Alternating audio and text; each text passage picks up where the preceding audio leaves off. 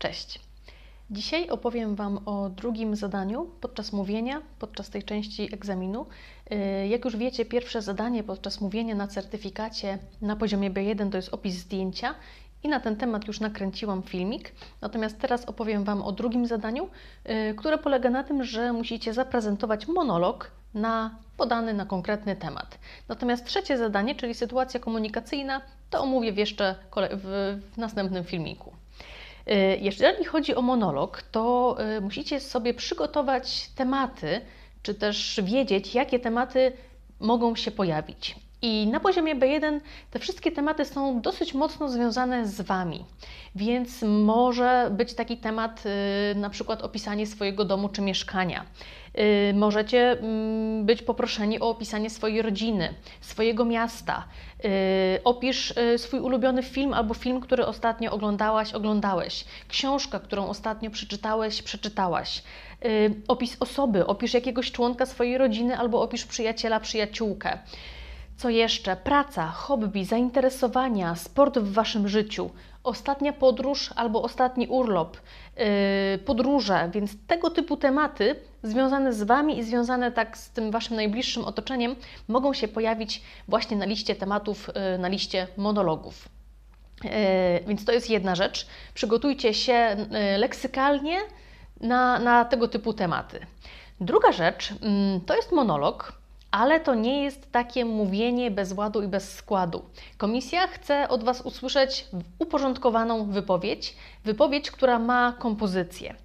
I jak wygląda taka standardowa, najprostsza kompozycja monologu? Y, jest początek, jest rozwinięcie i jest zakończenie. No i o ile w tekście można to jakoś graficznie wyodrębnić, y, to w mowie musicie zasygnalizować początek, rozwinięcie i koniec używaniem za pomocą y, konkretnych zwrotów. Więc y, zwroty, od których możecie zacząć, to na przykład y, zacznę od, najpierw opiszę, chciałabym zacząć od, rozpocznę od tego, że, więc w ten sposób sygnalizujecie, że to jest początek waszego monologu i zaczynacie od takich dwóch, trzech ogólnych zdań. Podam Wam konkretny przykład za chwilę, najpierw omówię te informacje ogólne. Następnie rozwinięcie, i tutaj też używajcie tego typu zwrotów, jak yy, kolejna sprawa to. Chcę jeszcze dodać, że myślę, że według mnie yy, warto jeszcze wspomnieć, że używajcie tego typu zwrotów konstrukcji, bo one bardzo dobrze yy, wpływają na odbiór waszego tekstu, waszej wypowiedzi i sprawiają, że ona jest uporządkowana. Natomiast jak zasygnalizować zakończenie? Tutaj możecie użyć takich zwrotów jak y, podsumowując, na koniec chciałabym jeszcze powiedzieć, że y, na końcu mogę stwierdzić, że i tak dalej. Więc pamiętajcie o tym. Y, zanim zaczniecie mówić to, tak jak już wspominałam w innej lekcji, będziecie mieli chwilę czasu, około 5 minut na przygotowanie, na zrobienie notatek, więc zaplanujcie sobie, napiszcie sobie jakieś konstrukcje, słówka, których nie chcecie zapomnieć. Zróbcie sobie krótkie notatki, z których możecie korzystać prezentując swoją wypowiedź. Co jeszcze? Uporządkowana wypowiedź, zwroty, yy, przydatne słówka.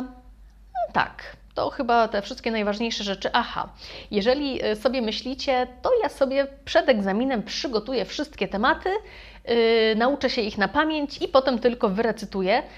Nie róbcie tego, absolutnie tego nie róbcie, bo po pierwsze nie wiecie, jaki temat Wam się trafi, może coś będzie innego, nie wiecie, czy czasem komisja nie zada Wam dodatkowych pytań.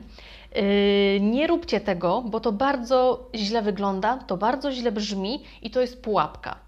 Więc przygotujcie się leksykalnie, sprawdźcie, czy znacie słownictwo z danego obszaru, sprawdźcie, czy potraficie mówić o swojej pracy, o swoich podróżach, o swoich przyjaciołach itd., tak ale w żadnym wypadku nie uczcie się tego na pamięć. No i teraz chcę Wam zaprezentować przykładowy monolog, taki jaki ja bym zaprezentowała, gdybym zdawała egzamin. I temat, który y, wybrałam, to sport w moim życiu. Ogólnie sport, temat sportu. Zrobiłam sobie notatki tutaj i tak jak widzicie, mój tekst, mój monolog jest podzielony na trzy części. Rozwin- yy, początek i tutaj mam takie dwa, trzy ogólne zdania. rozwinięcie, i tutaj już podaję przykłady dyscyplin, które uprawiam, czy już konkretne sytuacje związane ze sportem w moim życiu. I na końcu znów dwa, trzy ogólne zdania, takie podsumowujące, zbierające wszystko, co do tej pory powiedziałam. Więc posłuchajcie, będę troszeczkę zerkać tutaj na, na moje notatki. Sport w moim życiu.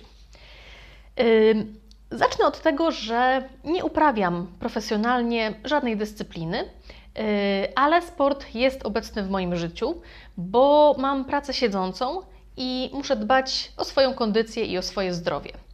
Yy, wiem też, że wysiłek fizyczny, czyli sport, pomaga w odstresowaniu się, dodaje energii i sprawia, że lepiej się czujemy. Yy, jakie dyscypliny lubię? Yy, raz w tygodniu staram się chodzić z mężem na basen. Mamy taki, taki plan, że raz w tygodniu chodzimy na basen. Niedaleko naszego mieszkania jest nieduży, stary, ale bardzo fajny basen, na który chodzimy. Co jeszcze? Niedawno kupiłam sobie sportowy rower i y, dwa razy w tygodniu i też w weekendy staram się jeździć na wycieczki. Y, gdzie zwykle jeżdżę? Y, zwykle jeżdżę wokół Warszawy i moim zdaniem Warszawa ma bardzo dużo ciekawych terenów, które, które nadają się na wycieczki rowerowe. Muszę też wspomnieć, że uwielbiam góry. Tak naprawdę góry to jest moja największa pasja i kiedy tylko mogę, to jeżdżę w góry. Najczęściej jeżdżę z mężem w polskie góry, ale nie tylko. Jeździmy też w góry za granicę. Lubię też spacerować i według mnie spacery to jest najłatwiejsza, bezpłatna forma wysiłku fizycznego. To chyba wszystko. A, jeszcze chciałabym wspomnieć, że od niedawna ćwiczę jogę. Kiedyś chodziłam na zorganizowane zajęcia, a teraz ćwiczę sama w domu. Podsumowując, y, sport jest obecny w moim życiu i zajmuje w nim całkiem sporo miejsca. Y, na zakończenie chcę jeszcze dodać, że w sporcie ważna jest różnorodność. Ważne jest, y, żeby próbować różnych rzeczy, żeby próbować nowych dyscyplin. I to wszystko. Tak ja przygotowałabym, zaprezentowałabym tekst, monolog na temat sportu w moim życiu. I tak jak yy, słyszeliście, czy zwróciliście uwagę, starałam się używać zwrotów typu zacznę od tego, yy, co jeszcze, muszę jeszcze wspomnieć, chciałabym jeszcze dodać, podsumowując. No dobrze, mam nadzieję, że yy, te wszystkie informacje pomogą Wam w przygotowaniu do mówienia na egzaminie. I zapraszam Was niedługo na kolejną lekcję, w której opowiem o ostatniej części mówienia, o trzecim zadaniu podczas mówienia, czyli o sytuacji komunikacyjnej. To wszystko na dzisiaj. Do zobaczenia. Cześć.